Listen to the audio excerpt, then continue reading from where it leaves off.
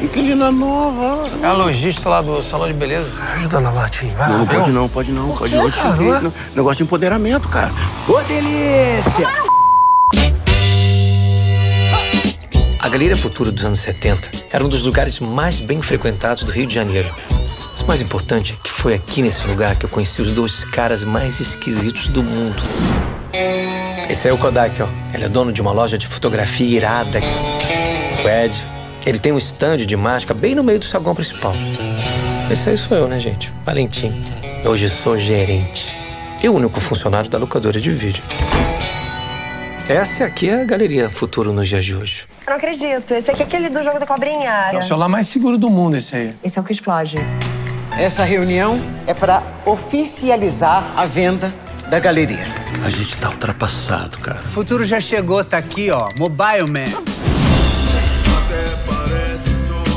Se alguém tiver uma ideia melhor para pagar 953 mil reais, Deixou essa parada aqui no fundo da minha loja. É como se fosse a pílula da felicidade instantânea. Tudo bem com a senhora? Tô ótima, não podia estar melhor. Aliás, amanhã eu vou passar lá pra pegar mais um. Daquele filminho, sabe? Vou ficar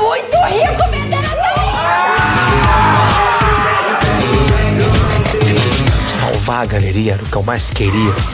Pai, eu amei esse carro! Mas meu pai e minha mãe me ensinaram a ser honesto. Eu faço pornô. O que é? Não, sou maquiadora. Sou maquiadora de filme pornô. Charles Bronson. Tô com tesão.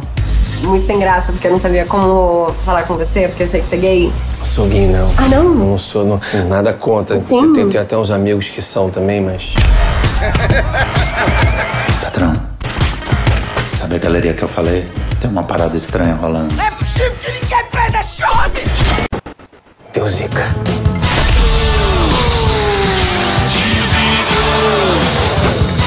Eu achei que seria feliz pra sempre aqui nesse lugar. Mas isso só acontece nos filmes. Ai, meu caralho. Galeria Futuro.